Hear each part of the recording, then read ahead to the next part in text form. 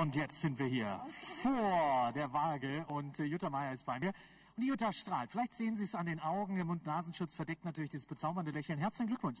Danke. Das ist ein richtig toller Treffer gewesen. Highflight ist so ein bisschen auch euer Liebling. Enorm großes Pferd, sehr großrahmig, aber auch sehr treu. Allerdings, ja. Schilder uns den mal ein bisschen, wie er so im Training ist. Ein ganz ein liebes Pferd. So ein richtiges Familienpferd, also unheimlich lieb. Das Pferd ist ja Kehlkopf operiert, das ist so sein Handicap. Jetzt hat der Martin gerade gesagt, da geht noch ein bisschen was. Das hört der Trainer doch gern. Sehr gerne.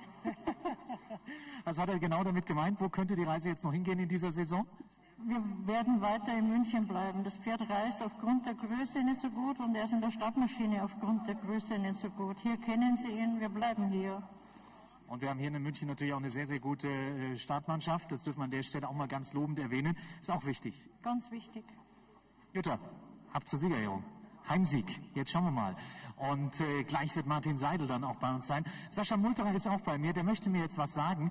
Ähm, an der Stelle noch mal ganz kurz der Ruf übrigens ähm, nach Serkan oder nach ähm, unser Mustafa. Der möge sich bitte mal ganz kurz beim Sicherheitsdienst melden. Hast du noch was für mich? Selbstverständlich habe ich was für dich, damit nicht wieder Missverständnisse entstehen. René Pichulek stellt sich nicht hin, weil er auch Ehrenpreise entgegennehmen will, sondern er überreicht sie. Das wolltest du mir jetzt sagen. Vielen Dank. Ja, nur weil ich einmal Jutta Meier, ne, aber ist jetzt egal. Wir gehen einfach zur Siegerehrung. Warten noch ganz kurz, bis Martin Seidel da ist und äh, dann wird es äh, gleich wieder losgehen.